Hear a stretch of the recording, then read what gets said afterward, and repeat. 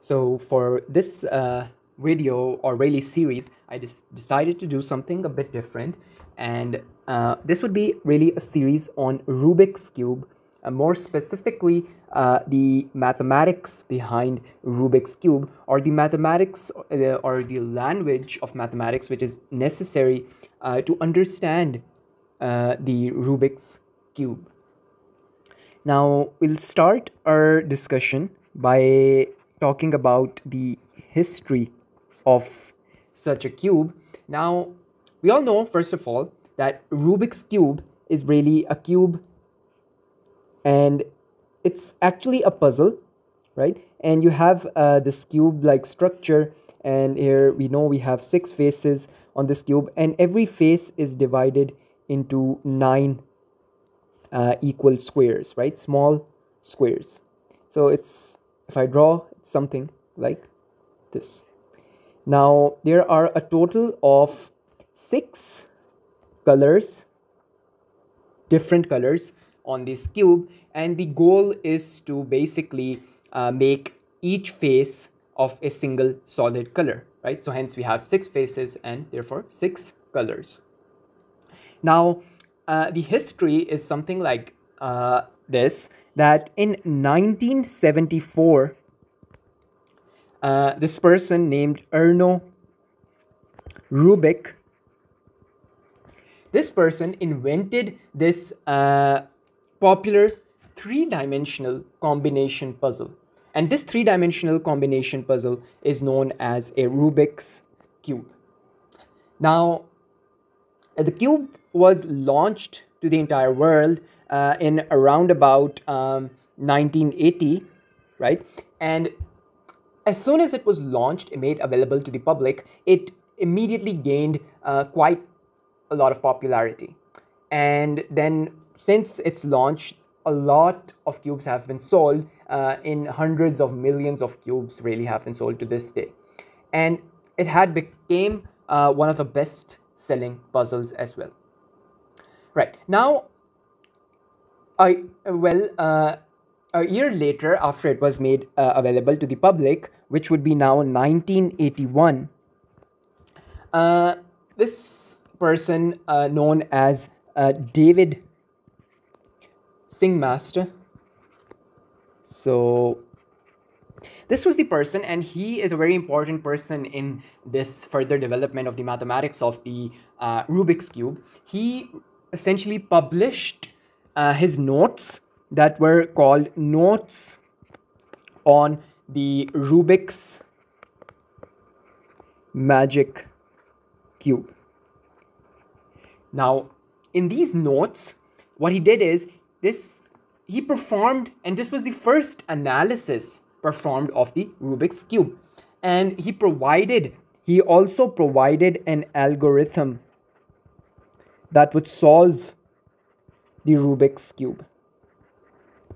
Right, so he developed an al algorithm that would solve the Rubik's Cube.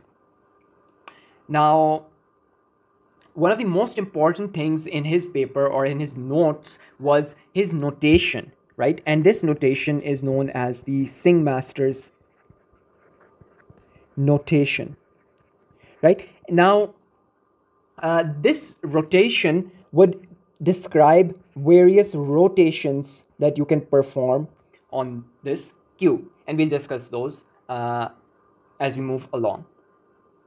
Uh, well, to this day now, there are multiple multiple mm, uh, methods that you can use to solve uh, this Rubik's Cube. Now, since the creation of uh, this Rubik's Cube, it has been studied in multiple fields. And these fields even include uh, computer science, uh, it includes engineering, and of course, it includes uh, mathematics, right? So it includes mathematics. Now, we'll be using the field of mathematics to understand the Rubik's Cube. Now, this uh, the, the idea of group theory is what it's called is going to be used to understand Rubik's Cube. So there is this thing in mathematics, there is the subject of group theory. And that's what we'll see. Uh, how is this group theory essential and or applied to the study of the Rubik's Cube? All right, so of course, now the goal of this first lecture would be to develop uh, the fundamentals of group theory. So first, in this first part of the video, we'll be more or less only talking about a group. What is a group? How do we uh, classify a group? How do we define a group, right? Now, we know that if you look back at this uh, Rubik's Cube, let me bring this uh, down. So let's put it over here. Now, if you look at this, and if you're familiar with the Rubik's Cube, you know that what you can do to this thing is you can perform uh, multiple transformations uh, to this cube. And how do you do that? You do that by rotating, right? So you can rotate uh, these faces like this, then you can rotate them like this, and so on, right? Now, these different transformations set up different configurations, right? So they set up different configurations of the cube. And then together these transformations and configurations of this particular cube, they are going to form a subgroup, right? And that subgroup would be the subgroup of a group that's called the permutation group, right? So we have a group that is known as the permutation group and it can it's a group which consists the elements of uh, permutation so how so more or less how you can uh, permute uh, an object right now uh, this permutation group is generated by or you can say that the the, the subgroup of this cube which is, it is generated by different horizontal and vertical rotations of this puzzle, right? So this is the horizontal rotation and this is the vertical rotation. So various of uh, combinations of these uh, multiple rotations uh, is going to generate this subgroup. Now, it goes so far, group theory goes so far that uh, this group theory is going to also give you a solution to Rubik's Cube. Right? And so group theory allows to examine this uh, Rubik's Cube or how the cube functions and then how those twists and turns are going to return the cube to its solved state, really. So that's the solution, right? All right, so now in this video, uh, the goal is to uh, define a group, right? So we're going to talk about groups. And so the first thing is obviously to give a definition of a group and some of its associated properties as well, right? So let's start by a group, right? Before we can even jump into the Rubik's Cube group, which is the group that uh, the Rubik's Cube is going to make up. We're going to start by reviewing some of the essential definitions from group theory. So we'll start by groups and here we'll be starting with our first definition and that is the definition of a group.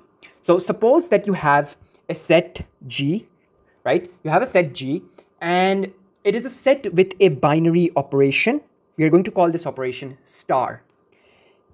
And we have this set such that uh, that this binary operation is really that G cross G is going to give you another element from G. What that means is that if I take uh, these two elements G1 and I take another element from the group G2, note that these two elements, let me write it over here, so G1 and G2, they both belong to this group G. So these elements would map to, if I perform this binary operation, to some G1 star G2. This means that I'm composing G1 with G2. Then I can say that G is a group, but it is a group under this binary operation star if some of the properties are satisfied. So I have to satisfy three properties.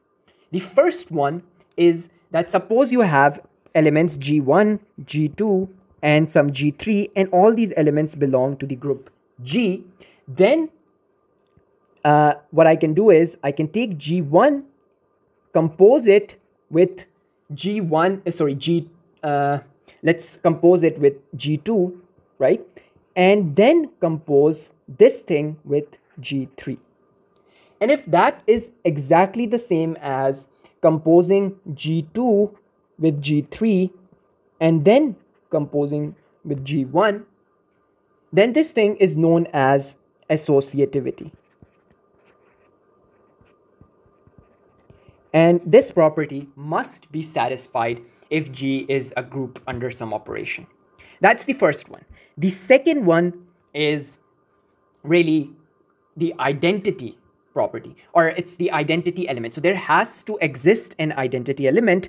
Uh, what that means is that we'll say that there exists some element which we'll call E and this E is the identity element such that A or any element from the group suppose it's uh, suppose it's any element g if i compose this with the identity element then that means that i'm composing identity with this g so these are the same thing and that would just give me the element g and this is true for all g and this property is known as the identity property right? So, so far we have talked about two of the properties. The final property, and if this one is satisfied, then G is a group under some operation star.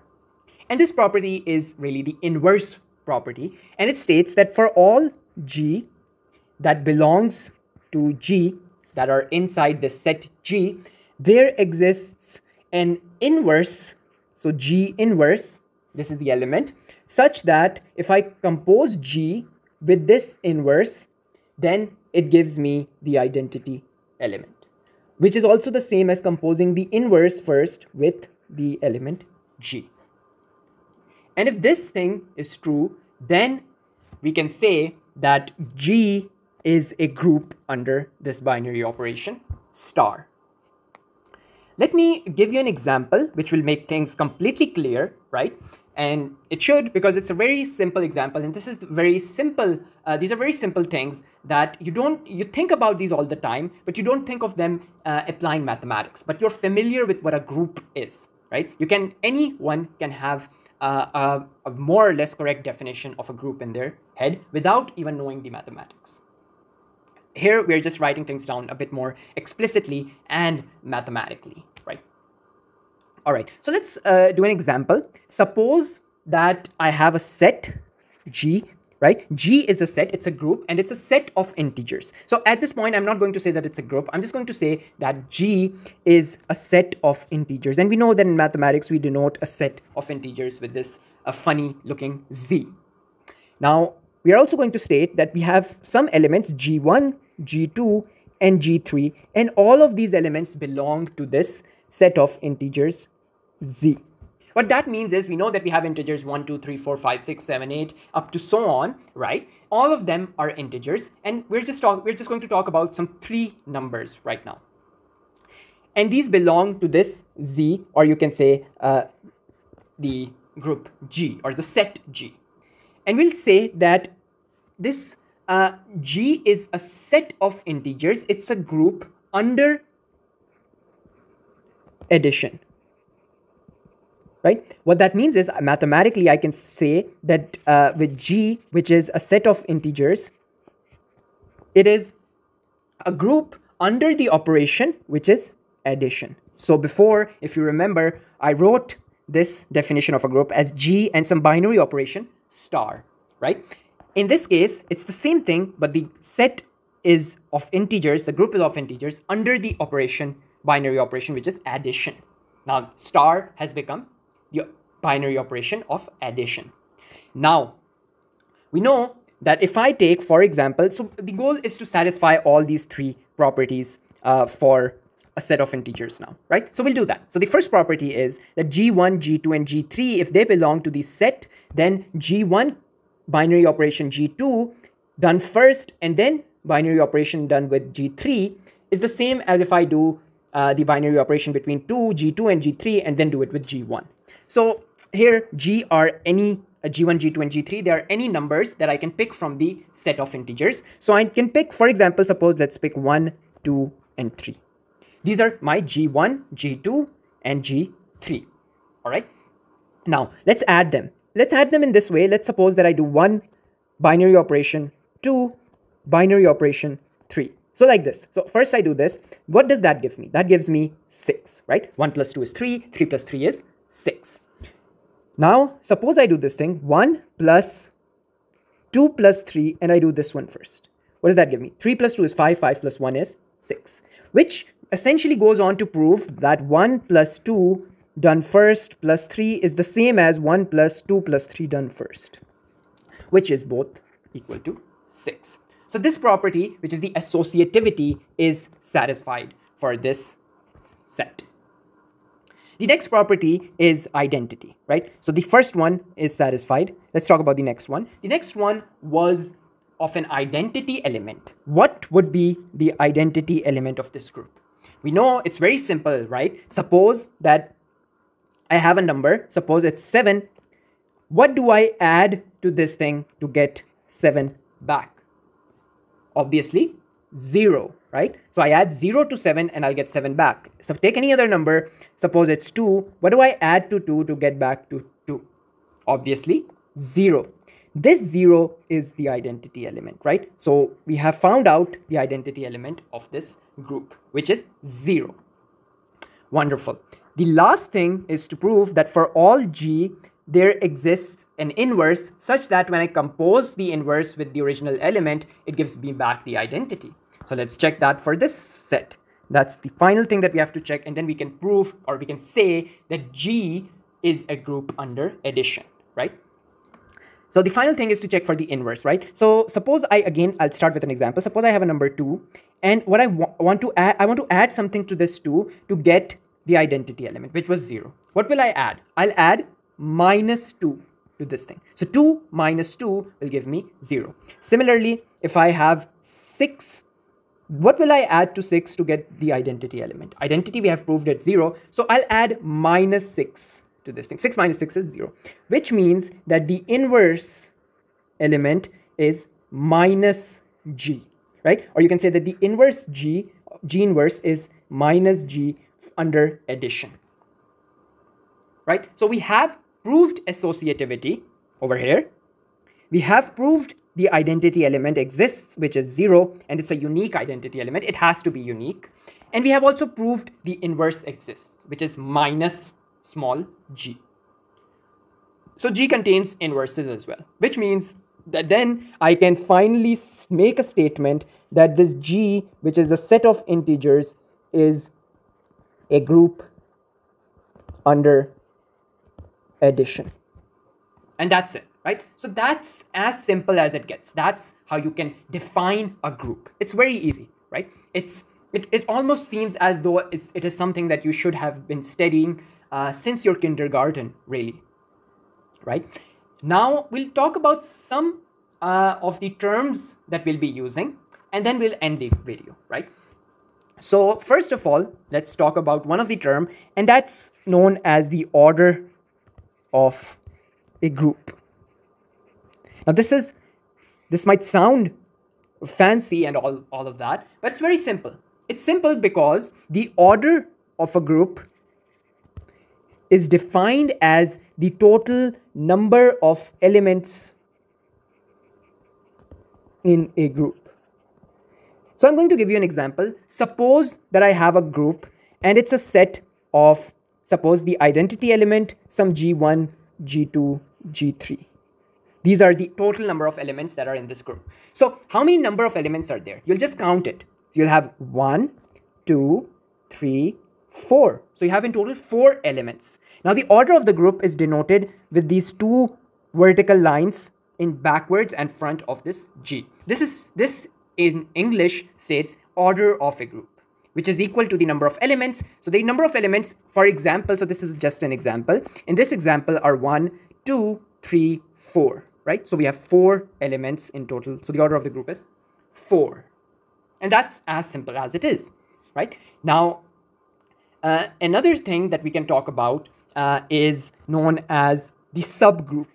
And you, if you remember, I have already said that the Rubik's Cube group is essentially a subgroup of a more major group, which is known as the permutation group, right?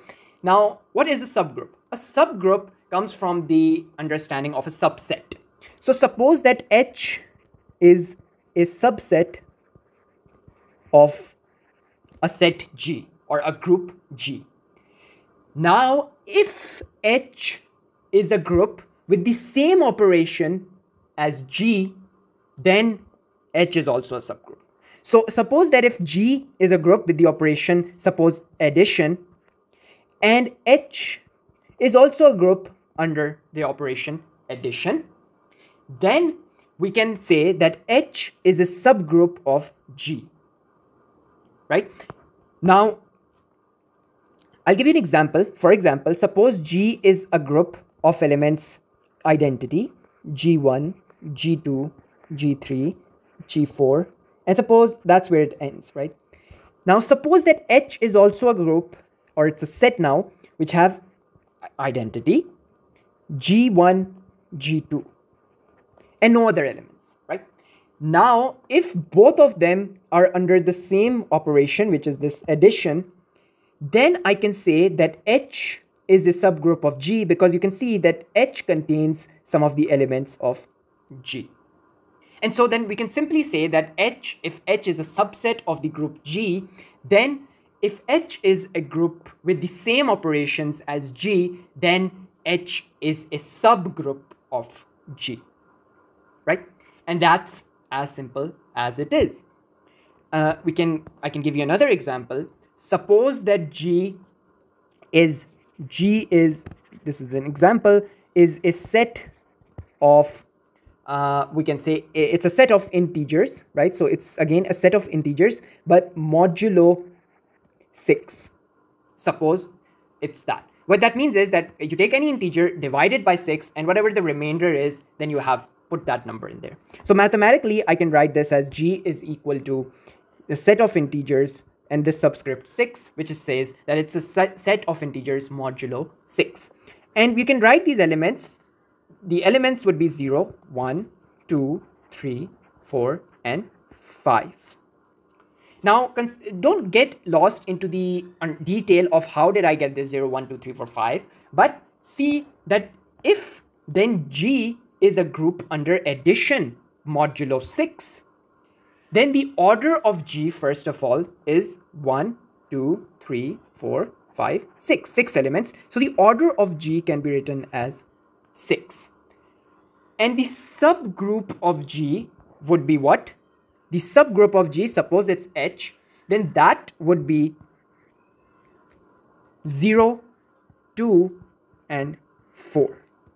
Right? So it's uh, this H, the elements in H it, they form a group with the same operation as G. All of these 0, 2, and 4 under addition modulo 6. Now, another thing, which is an important thing, is uh, or more or less we'll end this video at this uh, topic, which is the definition of a finite group. And it's something as simple as saying that the group is a finite group if the uh, what do you call this order of the group is less than infinity what that means is that just saying that the order of the group is finite then the group is finite right so I'll write that statement over here if order of g is finite then g is a finite group. We can have infinite groups as well. Just uh, a just a note, side note, really. All right. So with that, let's end this first lecture. In the next one, I'm going to talk about the types of group. We'll have different types of groups, and we'll see uh, the relevant groups that are required for you to understand in order to construct the Rubik's Cube group and those groups would be the cyclic group. We'll talk about the generator of that cyclic group. We'll talk about permutation uh, group as well and we'll talk about uh, we'll talk about something that is known as the alternating group the factor group and so on right? And then we'll somewhat shortly talk about isomorphisms as well where we'll talk about uh, homomorphism. What is a homomorphism? What is an isomorphism? What do we mean by uh, isomorphic groups? Or and we'll also talk about the automorphisms. And these terms they are very uh, you know fancy but the idea behind them is very simple. And then we'll be seeing how can we construct groups and we'll move on to the more important stuff which is known as the uh, Rubik's cube group where we'll talk about the Singmaster's notation and once we're comfortable with the Singmaster's notation we'll use that notation to construct the Rubik's cube group.